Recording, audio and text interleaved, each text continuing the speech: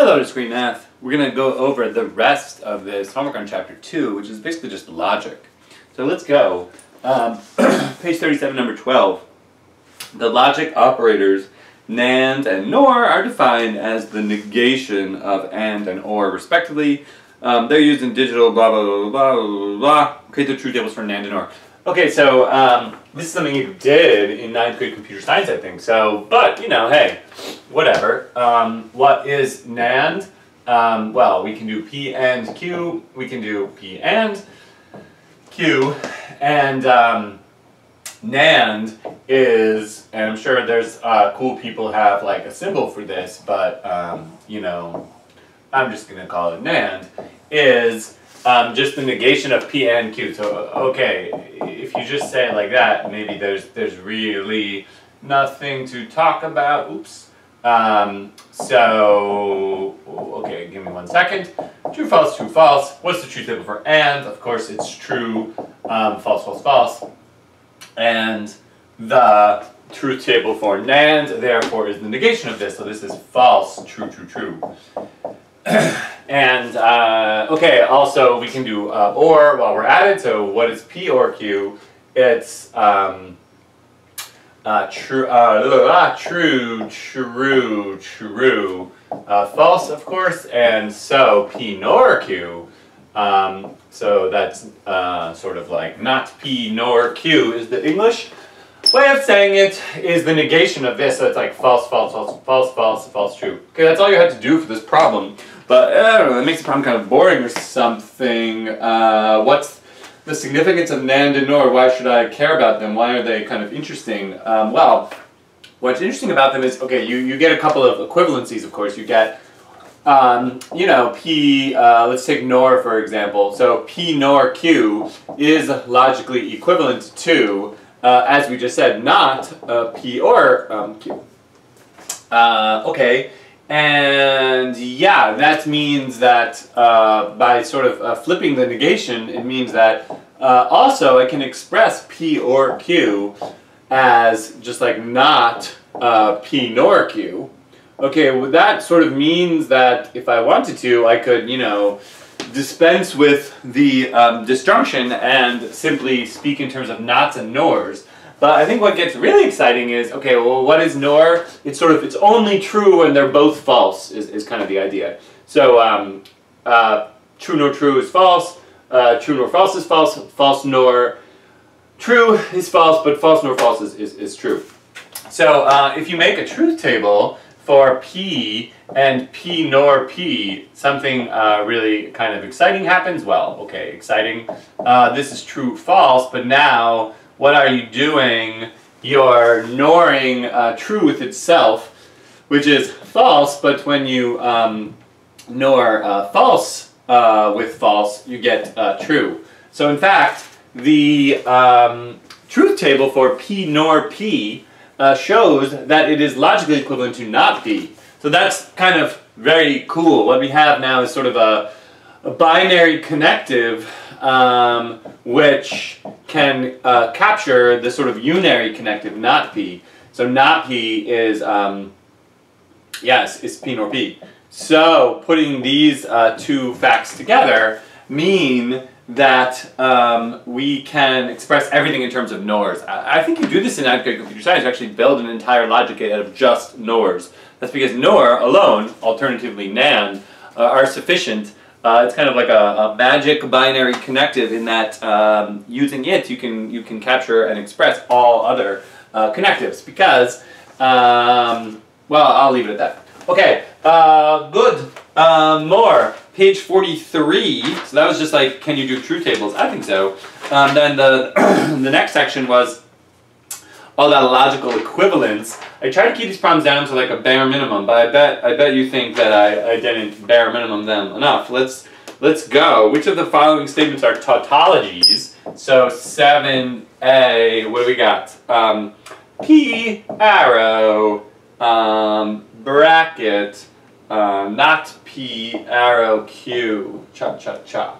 So um, 7a P arrow not P arrow Q. Is this a tautology. Um, now, you don't have to make a truth table. You could make a truth table, and if you made a truth table and all of the, the truth values in the, in the column associated with that truth table were uh, true, then you would know it's a tautology. But, you know, that's not the only way uh, to know it's a tautology. One thing we might do is to convert the arrow. Uh, I think the answer is going to turn, well, I don't know. Let's see. Um, so, uh, so P, um, so, okay, so I'll, I'll rewrite this as um, not P or, so P arrow something is not P or that thing. Okay, if I'm if I want everyone to understand, then maybe I should go in, in, in small steps. So that's just uh, using the the well-known logical uh, equivalence that x arrow y is logically equivalent to um, not x or y, which is something that we showed uh, in the video. And then I can do the same thing here, right? So this becomes not p or, well, this can be written as uh, p uh, or uh, q. And uh, because uh, or is, is uh, sort of associative and, and commutative, this, the brackets kind of can be dropped. And this is saying that not P or P or Q. And of course, since P or not P must be true, then this is in fact a tautology. That seems like the fastest way to me. Alternatively, you could just think about it. You could sort of say to yourself, all right, if P, uh, one thing you can do is you can try to make it false. This is more of a kind of a computer science way of doing things. Uh, which is actually uh, kind of interesting, right? You sort of say, all right, let me try to prove that this is a tautology. Let me try to make it false. And if I fail in making it false, then it must be always true. Well, how could it be false? Uh, well, the only way for a conditional to be false is if the antecedent is true and the consequent is false. So therefore, let's make that true, and let's try to make this false. I put the F on top of that arrow. Well, how do I make this uh, false? Well, the only way to make a conditional false is to make the antecedent true and the consequent false. So that means I need to make this uh, not p thing true, um, but and and and q uh, and q false. But to make not p true means making p false. And so I've just determined that the only way uh, that this uh, sentence will be a um, will be false is if uh, P is true, but P is also false. In other words, I fail to, to falsify the statement, therefore it's a tautology. That's kind of deep. Uh, no, no, I, I think about it. It's not deep, but it is a little thing that you may be learning while watching this video, convincing you that it is not a waste of time to do so, though it may be. Next, uh, this one says P arrow Q, if and only if this 70 not um, P and not Q. Not P and not Q. Something like that. Let me just make sure I don't make a copy error. P arrow Q, uh, if and only if not P and not Q. Yeah, so uh, what's up with this? Is this a tautology? Well, what I'm tempted to do is to distribute this uh, through. And when I do that, I get not P or Q which is logically equivalent to P arrow Q. Therefore, I'm going to just stop and declare this uh, a tautology because um, uh, whenever, uh, if P then Q is true, then this will be true as well because since these are logically equivalent and these two are logically equivalent uh, because of the, the De Morgan's laws. So that's kind of uh, easy also. Alright, good. 1321. I wanted this video to be fast. 13. Produce the truth table for the following proposition. Is it a tautology? Oh, I, I really made you do an actual truth table. I feel kind of bad now. Um, so what do we got? True, true, false, false, true, false, true, false. And do we have a, do we, are we really going to do this whole thing? I guess we are. not Q, P and not Q, not Q, uh, P and not Q, and um, P or Q, Amen. And then the final one is PN not Q, PN not Q, arrow, uh, P or Q. Okay, let's go. Truth table's not going to make itself. Not Q, this is false. True, false, true. This uh, is, uh, now I'm ending together columns 1 and 3. So that's uh, false, true, false, false. And um, yeah, then this is uh, just true, true, true, false. And now I'm doing this column, arrow, this column, false arrow, anything. Is This is just all, these are just all true. So I just did it really fast because false arrow, anything is true, and true arrow, true is true. Therefore, what was the goal of this problem number 13? It was to show that it is a tautology, or it asked, is it, is it a tautology? And the answer is yes. That's kind of like the long, methodical way of doing it. All right, now there are a whole bunch of little questions. I'm just going to read them out loud and answer them. 21. Uh, suppose the final column in the truth table for a statement contains an F. Then the statement is not a tautology, but is a contradiction. Gossett says, stop trying to trick me. It's not a tautology, but it doesn't make it a contradiction, which is not everyone uses that term, but he's using a contradiction uh, to refer to a sentence of propositional logic which is always false. Um, but uh, if there's a single F, it just means that it's not a tautology, but it doesn't make it a contradiction. Therefore, 21a, false. 21b, when asserting that an implication is true, we cannot automatically assume that the hypothesis is true, nor can we automatically assume that the conclusion is true. Correct. I don't call them hypothesis and conclusion, I call them antecedent and consequent, because I think I want to use words like conclusion uh, to refer to something else, which is the conclusion of an argument, and hypothesis is already too much of a loaded term. But uh, yeah, when you know that uh, if I happen to know uh, that P arrow Q is true, I can't really say much about the truth value of P or Q. Um, because P could be uh, true, because it could be true arrow true, but P could also be false. And Q could be true, because it could be true arrow true, but Q could also be false, because false arrow false is true. So that's, uh, so the, um, 21b is, is true. That's, that's a correct statement that Gossett makes. Uh, 21c, the op logic operator AND has higher precedence than OR. I don't care about this sort of thing. Precedence, I don't know. That's a matter of convention. No standard on that. Uh, if both the original uh, implication P arrow Q and its inverse are true, then all four derived implications are true. Yeah, if the conditional is true, then the contrapositive is also true. But if the inverse is true, then that makes the converse true because they're logically equivalent to each other. So if both a statement and its inverse are true, then all four of them are true. So that's uh, true for uh, 21D. 21E, two statements are logically equivalent if... Uh, this is a stupid question. Um, these are all a little bit dumb. If the hypothesis of an implication is false, then the implication is true, independent of the truth value of the conclusion. That is correct, Gossett. 21F, I agree. Uh, if the antecedent is false, then the conditional is automatically true. Okay, um, should potentially pause the, let's pause the video, come back in one second. Okay, uh, we're back for two more little problems about um, logical argumentation. Okay, this is not a logic textbook, um, so I don't really like exactly the notation that he uses uh, and the style a little bit here and there. because I teach a logic class, a little bit picky about this. So uh, I'm going to answer this question maybe a little bit differently than, than was intended or than how you probably already uh, um, answered it. But anyway, there was a problem 4L. The directions were simply use truth tables to prove the underlying tautologies for each of the fundamental logical equivalencies. And I think he says something like, um, under, under, if you look up, uh, what he means by uh, law of addition, uh, on the previous page, he says the law of addition, he writes this very obscurely, in my opinion, as he says, this is if and only if true. Okay, which is kind of like, okay, fine, sure, if and only if true. It's just another way of saying that this is a tautology. So instead of writing uh, if and only if uh, true, I'll just prove that this is a tautology. And uh, okay, you can just make a truth table and you can show uh, that it's true.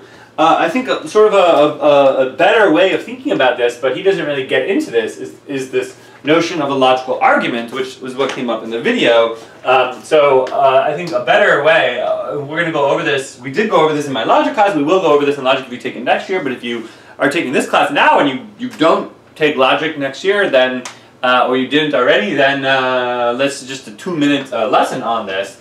Um, really what's going on here, I think the, the clearest way to explain uh, what's happening is to say that this is a valid argument.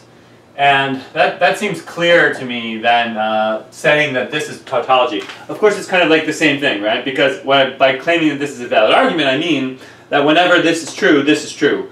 But since whenever this is true, this is true, it's also um, correct to say that the sentence itself is a tautology. Okay, uh, I won't go into that in too much detail, but basically, yeah, you, you just do it, right? You say, okay, uh, here's P, here's Q, here's uh, the truth table for this. So I get true, false, true, false, and then uh, P or Q, and you uh, you see that um, that the truth table for this is true, true, true, uh, false. And then the question is, okay, uh, well, can I conclude P or Q from P? Well, it is very weird to do so, um, and this gives some people pause. There's some sort of like psychological resistance to to uh, saying that this is that this is a valid argument because it seems like a weird thing to do. If you if you know some fact P, uh, if you rephrase it in kind of epistemic terms, if you know some facts P, then uh, by uh, attaching a, an or Q onto it, you're sort of weakening uh, your statement. But though you are weakening your statement, it is valid. In other words, whenever this is true, this is also true. Which we can see, of course, by just focusing on the rows of the truth table in which P is true. It's these two rows of the truth table. So in all cases in which P is true, P or Q is true as well. Therefore, it is a it is a safe uh, thing, uh, sort of, to to um, to follow this argument. Uh, it will not uh, lead to problems uh, because it's it's valid. And uh, if you just wanted to show that it was a tautology, then you would just add one more uh, column uh, and you would see it's like true error true true error true false and so automatically uh, we get that these are that these are all uh, true and so so it is a tautology. Uh, this uh, goes there. Okay affirming the consequent. Once again I think it's awkward to to write um, affirming the consequent as a single formula because uh, really you should think of this as an argument. And the argument goes, I have a premise, if P then Q. I have a uh, other premise, Q. Uh, may I conclude from this, uh, P. And if you really, really just don't think about it at all, then you might be thinking, yeah, oh, if P then Q, Q, therefore P. Um, so this is kind of like a, an extremely elementary logical uh, error. And um, this is the kind of thing you will maybe find uh, this error in, in, in writing if someone is being, you know, very, very not careful, okay? And uh, so how can we uh, demonstrate that, that this argument is invalid? Well, we have to convince people that you can't follow this argument in general because it might be possible for the premises to be true and the conclusion to be false. So I can make a truth table for this, um, but maybe it's faster to just uh, do it the fast way. so the fast way is to say, um, did, they, did they specifically tell you to make a truth table? They probably did. Show, oh no, ooh, he says show, perhaps using a truth table. Very interesting. In other words, he says if you're smart enough to figure out a way to not use a truth table, then, then you don't have to make one. And I think we're smart enough because uh, ultimately I'm trying to show that this argument is invalid. So I want to show that it's possible for these premises to be true, but the conclusion to be false. So therefore, I should assign false to P and true to Q. And how, uh, well now what? Well now if P is false and uh, Q is true, then uh, this conditional automatically becomes true because false error anything is true. And, and that's it, right? I did it. I showed uh, a way in which uh, both the premises are true. So now you can, you can write something if you really want to, like when uh, P is false, and Q is true, that's called a truth assignment, um, both premises are true, both premises are true, but um, the conclusion uh, is false. So this is an invalid argument. Okay, good. Uh, boom, boom, boom, boom. Um, just a couple more little problems here at the end, which are about predicate logic. Um, hopefully they're pretty easy. Let's just keep the camera rolling.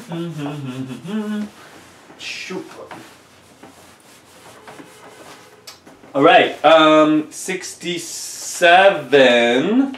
So skipping ahead to that. Um, yeah. Here we go. 3A, 3, 6B, 3, 9B. Uh-oh. I hope I didn't assign too many problems. I bet I did. 3... Oh, no, no, no, no. These are actually kind of fun. They are a little time consuming, but they're not mindless. They are like uh, deep. They're not deep, but they are helpful for you to clarify your mastery of quantifiers. So let's go. 3A through E. I did think deeply about whether I really wanted to assign all these problems, and I decided yes. So let's find out if I made the right decision. 3a says there exists an x and there exists a y. That comma is kind of non-standard. That Gossett includes uh, such that uh, x equals 2 uh, and x times y uh, equals 4x. You know what? I'm going to pioneer a little bit more uh, in in video editing or whatever. So I'm going to pause this, write all these problems on the board, and then do them really fast. Bye. Okay, we're back. Good. Uh, let's go. Directions for 3A. Let the universe of discourse be the set of real numbers. I call it the domain of discourse, but okay. Uh, in other words, the real numbers are the uh, set of objects uh, over which we will quantify. And, um, yeah. Translate each sentence into English. Oh, no, I'm not going to do that. Also, mm, determine the proper truth value for the statement. I am going to do that. I hope I, well, okay, anyway, let's go. Um, what does this say? Well, curiously, um, hold on one second. Let me just double check this. Yeah, sure. Uh, X, Y, okay, so let's go. 3A. Do there exist, does there exist an x and a y such that x is 2 and xy is 4x? I say that the answer is yes. Um, okay, uh, how can you show me or convince me that there are such a pair of numbers? Well, of course, uh, x has to be 2, so just set x uh, equal to 2. Um, so that automatically uh, makes this um, conjunct uh, true. How do I make this conjunct true? Well, because uh, I can cancel the x's from both sides, uh, then that just means y is 4. So this is a little bit dumb, right? Set x equal to 2 and set y equal to 4. That's it. Uh, okay, so the answer to this one is is is just yes. What is what is that? Determine the proper truth value uh, for the statement. So um, so the answer to to part A, 3A uh, is true. Okay, more. Um, for all x and for all y, x, y is 4x. Well, that is certainly false because I could, for example, uh, set x to be, I don't know, 1. Um, and if I set x to be 1, but if I set y to be 5, well then I have a false statement, right? Because uh, then my left-hand side is 5, but my right-hand side is 4. So it's not true that for any possible variables x and y whatsoever, this statement will be true. Okay, that's pretty clear. C, um, for all x, there exists a y such that x, uh, y equals 4x. Well, once again, I think that that is, um, hang on. No, I think that actually we are okay now. I think this is true because um, no matter what x is, I can just set y equal to 4. So um, what you're appreciating now, uh, hopefully when you were doing this problem, if not now, is that uh, when you write for all x there exists a y, the quantifier scope says that the y that you pick um, can depend on the x. In other words, for any possible x, is there a y kind of response? That's what it means for this to come kind of uh, orthographically, you know, second. It's within this, this this, uh, there exists a y uh, part is within the scope of the quantifier uh, for all x. Okay, so what does that mean? So it's sort of like, it's sort of like for any x, um, here's what you do. Uh, well, you just set y equal to 4, and then that sentence is automatically just, uh, just true. Uh, because um, then you just have, you know, 4x equals 4x. And so, great. And in fact, if you set, if x should happen to be 0, then y could be anything. But if x is anything that's not 0, then you have to set y equal to 4. So that's the precise dependency of y on x. Okay, things I'm learning is happening here. Part D, uh, there exists an x um, such that for all y, you know, blah, blah, blah. Okay, so it's the same sentence, but now the quantifiers uh, have changed. Um, so now uh, we are saying, uh, does there exist a number uh, such that this sentence is true for all possible values of y? And the answer is yes. The, the answer is uh, set x equal to 0. Right? If you set x equal to 0, um, now uh, y can be, you know, whatever. That's, that's uh, essentially what is going on here. Um, you are uh, trying to figure out uh, whether the sentence is true or false. The answer is it's true because there is an x, specifically x equals 0. If x equals 0, then um, the sentence inside the brackets is automatically true regardless of what y is. So uh, once x is 0, then for any y, this is true. Okay, and part E uh, simply says, does there exist a pair of numbers x, y such that x, y equals 4x? Certainly, yes. Um, for example, um, so this is, this is true, and now we say, uh, okay, for example, I could set x equal to, well, it's the same as, um, how is this different than what's above? It, it's really, it's really barely is. Um, yeah, so, so set, um, set, um, you know, set x equal to 1, say, and if x is 1, then you must set y equal to 4 uh, and y equal to 4. In fact, unless you happen to set x equal to 0, um, no matter what you set x to be, y has to be 4. But if you set x to be 0, then you could set y to be anything. But uh, all you need to do is find a single um, assignment. Uh, so you need to find a, a, just one value of x and one value of y that satisfies the sentence. So I gave my example to, to, to assert that this is true. Okay, hopefully you're learning about uh, how quantifiers work if you didn't know already. Uh, this is not too hard as long as you ignored my uh, uh, the problem which said translate to English. I have to make a note to you know not do that. Um, okay. Oh, maybe I maybe I did. Man, guess it's I guess it's too late now. Anyway. Um, oh yeah, I did. Shoo, good. I said just say whether true or false and why. In other words, skip the translations because that's that's too that's too much tedious work. Okay, uh, good, good, good, good. If you're watching this video, then, then you're learning at least. Uh, this is the same kind of thing, but subtly different problem. Let the universe of discourse be the set of integers now. So now it's, it's integers uh, that we are quantifying over. And uh, so that's kind of like our, our world. Uh, so let's go. Once again, we're doing parts B3 of number 6. It's the exact same sentence, but the quantifiers are changing, and so things are changing. Um, let's go.